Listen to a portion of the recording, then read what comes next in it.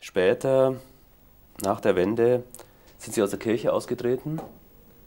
Ähm, aus welchem Anlass? Was war der Grund, warum Sie aus der Kirche ausgetreten sind? Ja, Anfang 90 war im Fernsehen zu sehen, Erich Honecker ist verhaftet worden. Was man ja eigentlich nur begrüßen konnte. Aber ich kann mich heute nicht mehr erinnern, wie lange Honecker da in Haft war. Man hat ihn wieder freigelassen und er hatte plötzlich keine Bleibe mehr. Nach Wandlitz konnte er wohl nicht zurück. Dann hatte man irgendein Schloss oder ein Erholungsheim ausgesucht. Da hat sich die Bevölkerung gewehrt.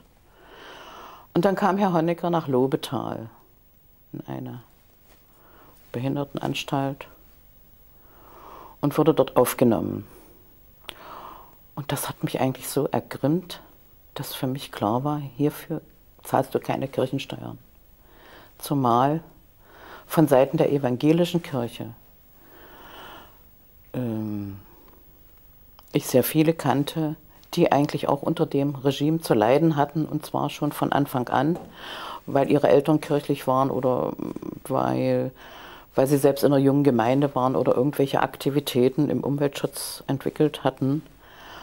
Und das war für mich völlig unverständlich. Was hatten Sie dagegen, dass diesem Mann Schutz gewährt wird? In einer Situation, wo offensichtlich der Volkszorn hochgekocht ist?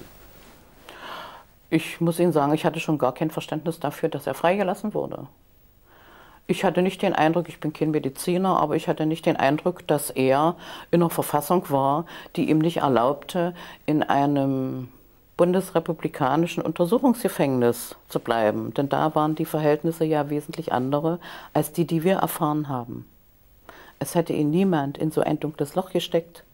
Und er hätte da nicht auf irgendeiner Pritsche liegen müssen und warten müssen, ob er dann äh, irgendwann mal sich äußern darf oder nicht. Äh, wobei das ein Thema ist, da möchte ich endlich mal drüber sprechen.